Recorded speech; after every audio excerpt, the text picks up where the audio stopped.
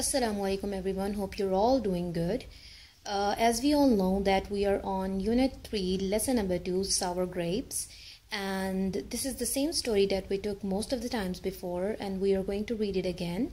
So let me give you a quick introduction of the story. It's about a fox who roams around in the garden and uh, suddenly he sees a vine of grapes on the top of the tree. He tries to catch it. He tries to climb the tree but in the end he fails and says that the grapes are sour. So this is this uh, quick introduction of the story. The summary is also written in the lesson planner. What you have to do, you have to underline the hard words and write down their meanings and learn the meanings from the word bank. Let's move forward towards our first question. So our first question is, answer the following questions. Number one is, did the fox really want the grapes? He Did he really want the grapes or not? And the answer is that yes, the fox really did want the grapes. Why? Because he was eager, he was excited, and he tried to snatch them. He tried to catch them. That's why he really wanted to have the grapes. Our next question is why was what was so attractive about the grapes? Why were grapes looking so attractive? What was the reason?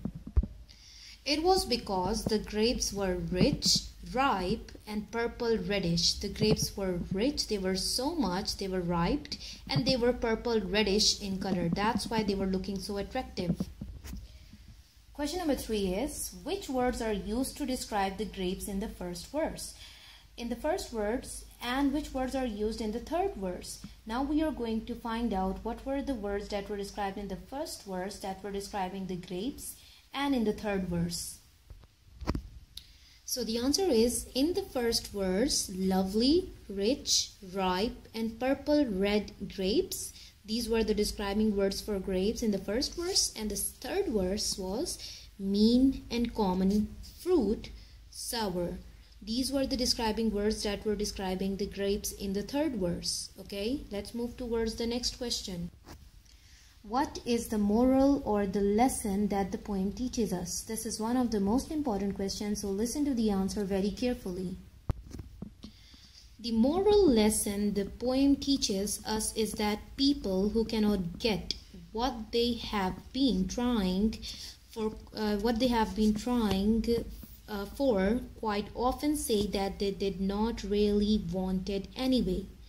It means that those people who are trying to uh, achieve something, who are trying to get something for a long time, in the end, what they really say, they said that they did not, they did not really want it anyway. They did not really want it at all.